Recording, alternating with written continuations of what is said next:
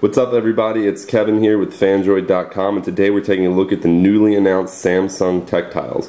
These are programmable NFC stickers that are going to ship with the Galaxy S3, but they're not limited to just the Galaxy S3. Any NFC phone can read them and most Samsung devices with the ice cream sandwich are going to be able to download the TecTiles app and actually program these and scan these and take full advantage of these. So we're going to take a look at how to program and use TecTiles today um, with your Android phone.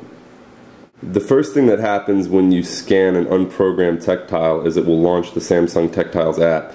Um, if you don't have the app installed, it'll actually download it from the Google Play Store for you. You can see you have several different options for programming the TecTile. Um, you can choose to change a phone setting or launch an app so you could have it enable Wi-Fi when you come home from work, um, or you can have it.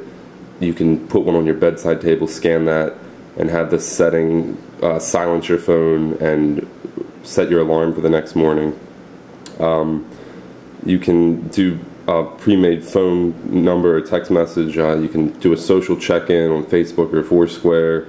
Post a, um, a pre-made message to Facebook or like a Facebook page. So it, there are different uses for businesses, uses for individual users. So I'm going to show one example today using a business card, and uh, it's programmed to actually launch the Phandroid website. So you see here, this is my Phandroid business card.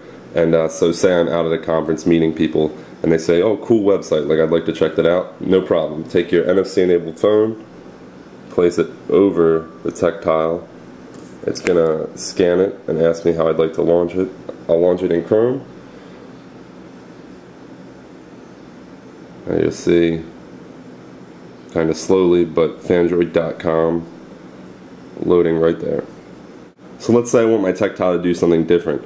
Say when I scan the business card, I'd like to actually um, have my contact information loaded onto that person's phone. So that's pretty simple too. I just hit phone and text, um, share a contact, and it's pretty easy. You just do the share me contact if you have the me contact set up in your phone with all your information.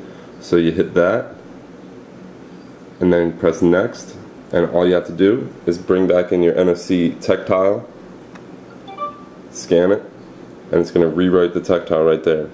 So that's a look at the TecTile stickers, programmable NFC. I stuck one to this business card, but you can stick them anywhere. A business could put one at the front door so that customers entering can check in right on Foursquare. You can slap one on your dashboard so you can switch uh, to, to a car mode, maybe start playing music or turn your GPS on.